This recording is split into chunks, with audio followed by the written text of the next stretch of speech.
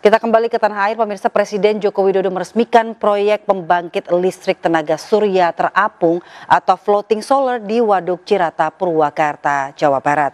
PLTS terapung Cirata ini tercatat sebagai yang terbesar di kawasan Asia Tenggara dan mampu menghasilkan listrik untuk disalurkan ke 50 ribu rumah lebih. Dengan mengucap Bismillahirrahmanirrahim pada pagi hari ini saya resmikan pembangkit listrik tenaga surya PLTS Terapung Cirata 192 MW peak.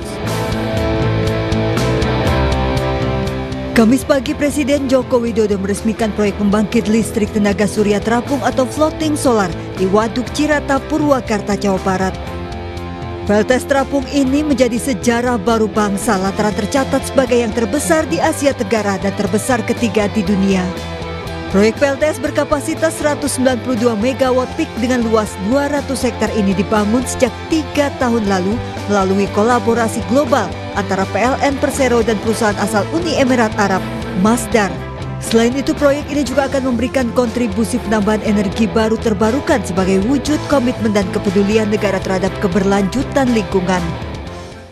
Jawa, Madura, bahkan sampai ke Nah, untuk itu proyek PLTS Kampung Cirata ini mampu melistriki 50 ribu rumah.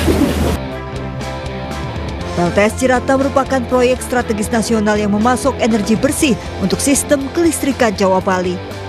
PLTS ini terdiri dari 13 pulau atau areas dengan lebih dari 340 ribu panel surya yang dapat menghasilkan listrik untuk disalurkan ke lebih dari 50 ribu rumah.